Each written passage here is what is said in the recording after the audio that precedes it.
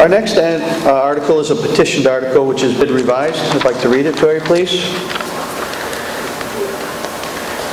Article 18.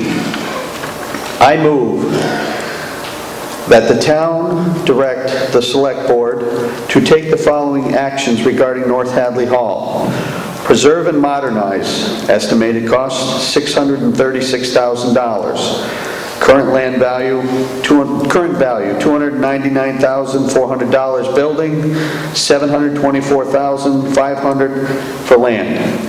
Sell the property with historic preservation restriction, demolish the building and retain the land for future town use. And that the town direct the select board to take the following actions regarding Russell School. Preserve and modernize, estimated cost $839,000. Current valuation, $404,000 building, $443,600 for land. Sell the property with historic preservation restriction. Demolish the building and retain the land for future town use. And that the town direct the select board to take the following actions regarding town hall. Preserve and modernize, estimated cost $30,000, current valuation $299,400 building, $384,700 land. Sell the property with the historical preservation restriction, move the town offices to the senior center building and use the town hall for additional space without renovation. Respectfully submitted, Joseph Fitzgibbons petitioner. Is there a motion? So moved. Is there a second? Second.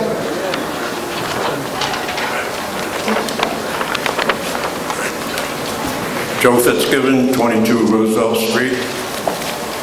I'd like to read my comments. The petition addresses only three buildings. And they are the North Hadley Hall, the Town Hall, and the Russell School. There have been multiple surveys over the years concerning these three buildings, and nothing has ever been done. The petition asks the townspeople to direct the Board of Selectmen to take action. It is not a request for funding and should help in any future decisions and priorities regarding town buildings. There have been comments made that the numbers quoted in the petition are not right. None of the numbers quoted in any of the surveys are right. They're only estimates and will continue to change. The old Mohawk survey was commissioned by the Historical Committee and paid for with CPA funds. The DRA survey commissioned by the selectmen was not available at the time of the petition, at the time the petition had to be filed for town meeting. The DRA survey involved seven town buildings, four of which have not been previously discussed with the townspeople. They are DPW buildings, Public Safety Complex, the Goodwin Library, and the Senior Center. Your action on these petition articles does not preclude further discussion or final action by the town.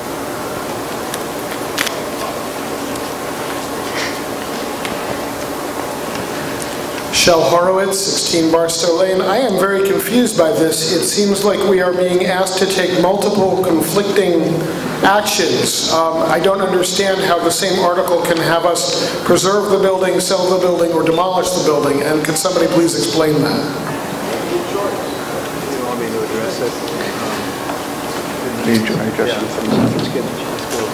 Mr. Moderator, Joel Bard, Town Counsel. Uh, I worked briefly last week with the petitioner, Mr. Fitzgibbon, to convert this to, to convert the petition that you saw as an article, to convert it into something that was manageable as a motion.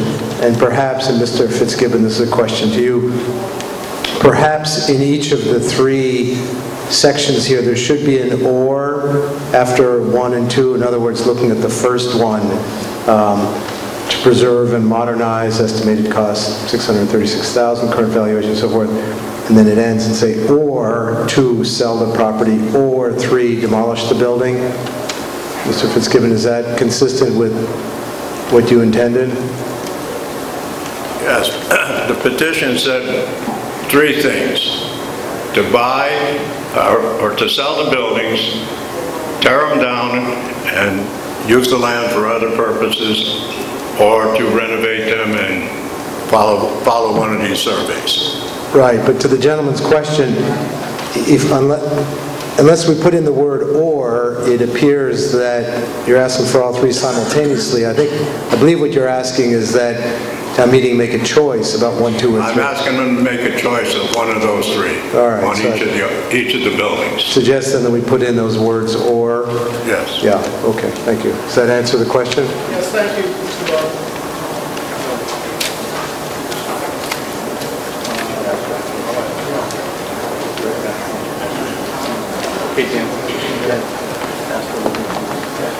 Mr. Bard? Yes. I'd like to know if this uh, article is non-binding or not.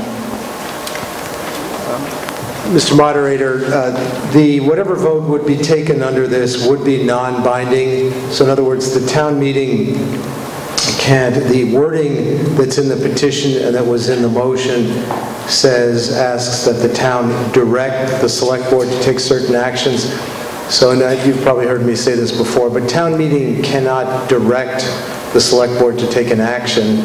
Uh, There's a separation of powers here. This is, the town meeting is the legislative body, the select board is the executive body, and so the legislative body can appropriate funds, can enable certain things, but ultimately, the select board has the independent authority to decide what actions it will take.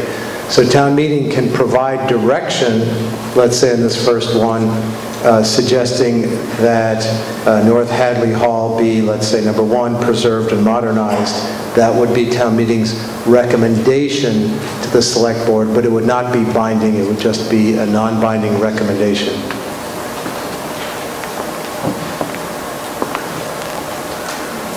Um, Andy Andy Morris Friedman, 45 Roosevelt Street. That sort of changes what I was going to say. Um, When we come to the point where we really have to make a decision about these buildings, uh, we either have to, um, uh, well, well, we we have to make a decision about whether we're going to keep them or not.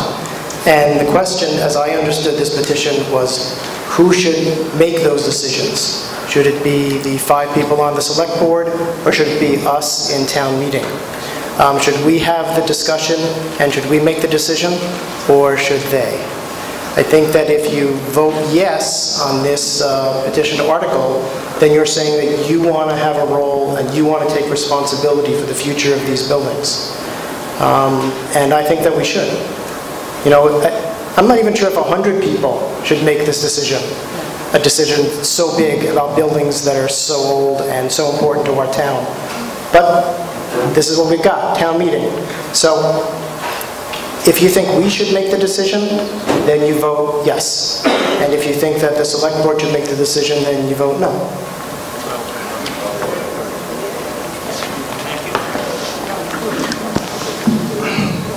I don't know how many people have seen some of our most recent meetings, um, but to answer your question, I think that's exactly what we plan to do in the next couple of months.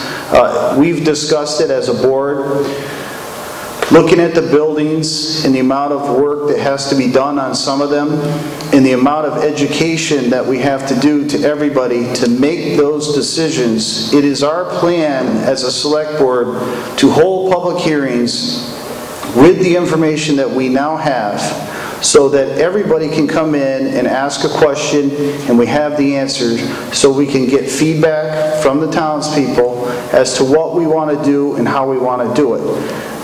Once we have done that and we're sufficient with the education process through public forums, we've decided that it's best that we have a special town meeting where we come in and the only thing we talk about is the buildings. So that way we can have proper time to have the proper feedback from you, the townspeople. Um, I know over the last few years, you've heard, well, we've done numerous studies. Yes, we have. But those studies are going to become helpful when we decide what we're going to do with these buildings. Because they are all going to be combined as different tools in a toolbox when it goes to renovate a building. With the historic soci- uh, study that was recently done, you can turn around, if you're renovating a building, you can use CPA funds for things that have been dedicated, you can borrow money for the rest of the building. All these things are going to be tied into one plan, and we plan to have public forums so that people can come and understand the information that we have, and we can look at everything from all angles, so that when we have a special town meeting vote, we can have good facts, direction, and move forward. And once we have that plan, we can turn around and put that plan into motion. That was, that was the genesis of the capital planning committee making the recommendation to the select board last year to hire an architectural firm, not just to look at Town Hall, Russell School, in North Hadley Hall. We said, look at all of the town buildings that you currently have, so you know everything about them, what needs to be fixed, what's, what's in good shape, what isn't, so that you can have a collective decision rather than trying to do this piecemeal. So that is our intent. We are going to have public forums. We might have them here in the cafeteria where we bring up a building and we talk about it. But I think that's the best way to do it because we have to answer everybody's questions and come up with a plan. And once we have that plan, we can put it in motion. Thank you. Hello, I'm Randall Broadus, I live at 11 One second, sir, one second, please. Mr. Fitzgibbons, could you come up, please? Yes, please. And, and no, just right to the microphone, right to the microphone. Uh, You you heard uh, Selectman West's conversation? I've heard a lot of conversations over surveys over the last 15 years, and nothing's ever happened. Very good, I just wanted to double That's check the to see if reason- you wanted That's the to... reason, that's the reason we put a petition to get this stuff off dead center. Thank you, sir. Joyce Chunglo? Brian kind of stole my thunder. He asked me, it had to go before me, but uh, what I was going to do is to move this um, petition and table it because of what Brian said. I feel that we need to do uh, a more intense uh, awareness to the public about these buildings uh, and holding the forms. I would like to see a non-binding referendum vote in the spring um, so that everybody has the opportunity to vote on it. And I would also like a special town meeting so that we can address the buildings, and not just three buildings, but all seven buildings. The estimate right now from the DRA is $10 million just for the three buildings that uh, Mr. Fitzgibbons wants us to look at. For the seven town buildings, it's 19 million. So those are just estimates, I know that, and they change frequently, but that's a better estimate that we've gotten recently than what we've had in the past. So I would move to table this, and please let us proceed to um, inform all of the town of Hadley on what we need to do with these buildings.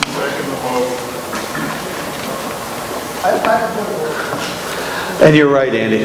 Andy, you're absolutely right. We won't even let selectmen talk their piece and then move the question. If you move to table it. So she's able to do that? So then somebody else would have to make the motion to table? Yes. Yes. Any further discussion? Selectman Chunglo, did you want to talk again? She didn't move the question, no. Do you want to move the question? You didn't. you talked. We don't let people do that stuff. After looking at all these reports and the latest one, the seven buildings that they're looking at still excluded a couple of them, which we need to take a look at and discuss.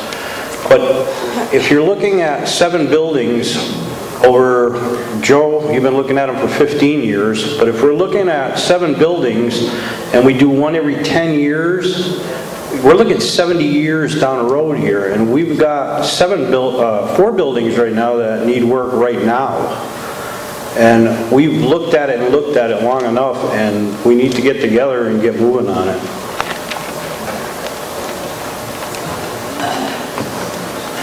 I moved, I move to take no action on this article. Simple majority? Yeah. The motion had been moved to take no action. It has been seconded. This is a simple majority. It could, End discussion.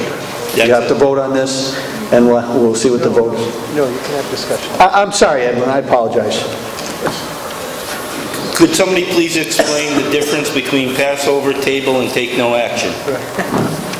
Okay, Mr. Moderator, the, so uh, pass over and take no action are the same, just take no action is, you know, the, the the formal way to phrase it.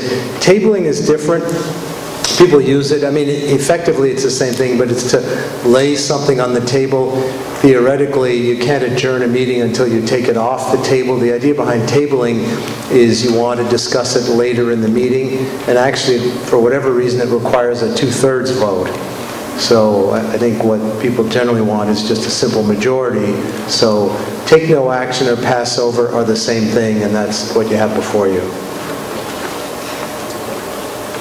Okay, it's my understanding that if you take no action or you pass over, then the issue is kaput. That's correct. If you table it, it's got to come back. Well, that's just it. It's supposed to come back, but in my experience, when it's laid on the table, the meeting gets adjourned and then it's dead. But theoretically, if you lay something on the table, you should take it off the table, but nine times out of 10, it never comes off the table. Okay, my concern is that if we pass over it and this issue dies, then we're going to be back where we were. If we table it, you got to do something. It's kind of making town meeting and selectmen taking action. Passing over just means, eh, done. What's next? So that's my, that's, that's why my concern, I'd be more in favor of tabling it, because something's gotta happen. Passing over means we're gonna be in two months back where we are now.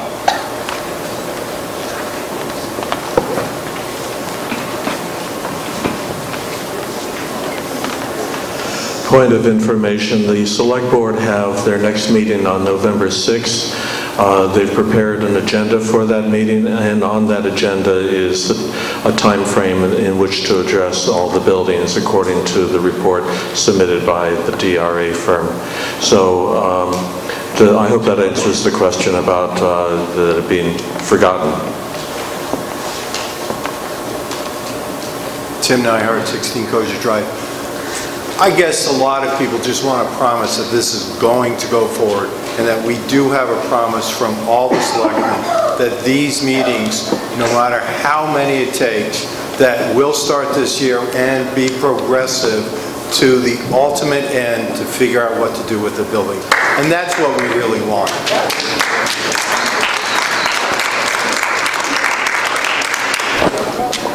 Uh, Mr. Nixon, uh, I'm sorry, Andy Klepacki, 60 Myrtle Road. Mr. Nixon, approximately how large is the DRA report, how many pages?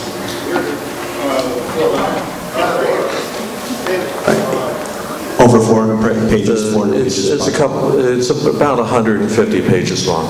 Plus the previous surveys. I was just curious that in prepar- preparation for the upcoming forums and the like, will these reports be made available to the public for review prior to those? It's a lot to sit down and digest the uh, warrant articles when we come in to look at them, let alone a 400-page report. Um, If so, these things are going to be published. Could you identify where they will be? Certainly. Thank you for the opportunity to talk about this. Uh, The DRA report is available online. If you go to the Hadley uh, website at www.hadleyma.org, go to either the Select Board uh, page or the Town Administrator's page, and there's a link to the DRA report.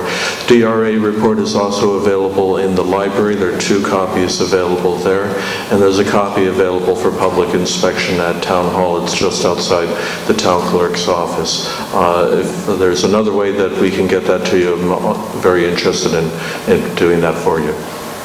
Thank you. And uh, will the um, the previous uh, re- aforementioned reports be available as well in the similar vehicles?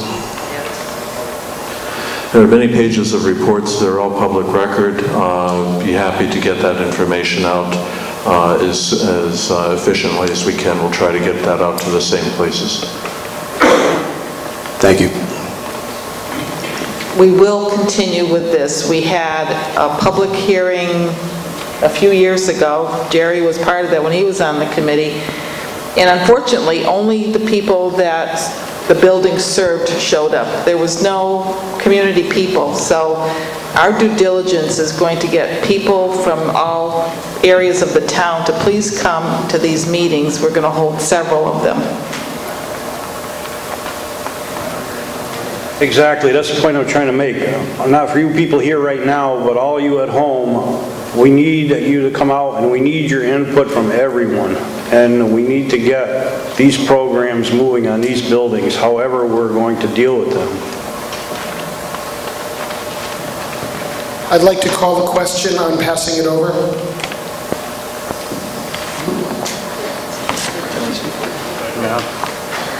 Is there a second? Second. Okay. The motion was to take no action. All those in favor, please signify by raising your cards. Simple majority, yes. Uh, no, it's two-thirds. This is two-thirds. All those opposed?